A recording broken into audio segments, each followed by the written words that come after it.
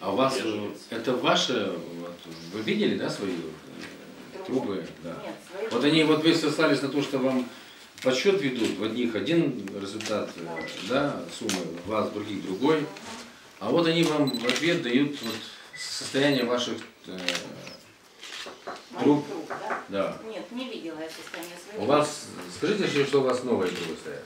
Нет, у нас новые трубы. Старые на- стоят? вот Не, не везде. Вот, кстати, у нас на чердаке, Антон, да, вот у нас стоят над его квартирой, на 24 Я лично трубы, менял, он да. лично менял Трубы за свой счет эти трубы. Вот у меня, конечно, стоят на 23 квартире старые трубы.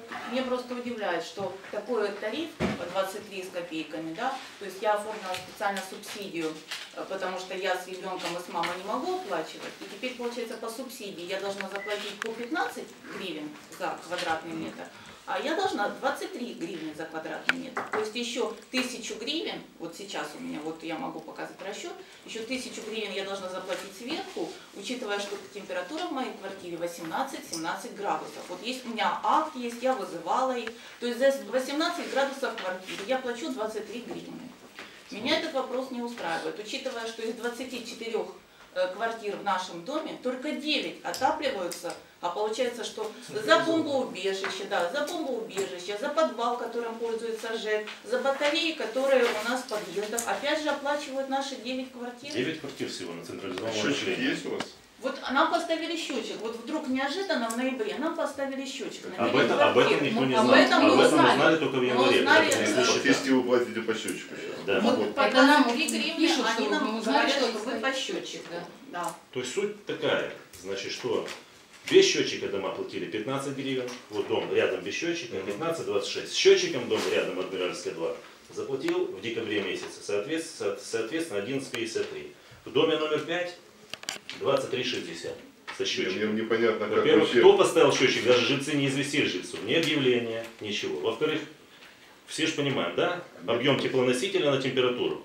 Что еще отапливается? Потому, что, потому что, получается, все бремя легло за подвалы, за, за получается, помещение общего пользования на бремя этих девяти, на плечи этих девяти квартир. Это же несправедливо.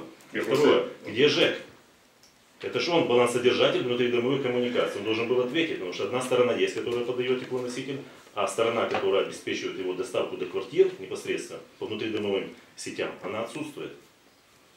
У меня возникает вопрос, вы правильно говорите, объем теплоносителя на температуру, а как этот теплоноситель по таким трубам может пройти, тут вообще непонятно, И второе, откуда жители не знают, кто, кто А? регулировал, кто подавал.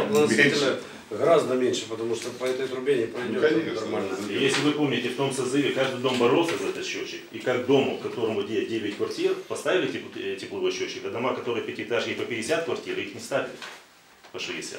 Вот, вот это тоже нонсенс.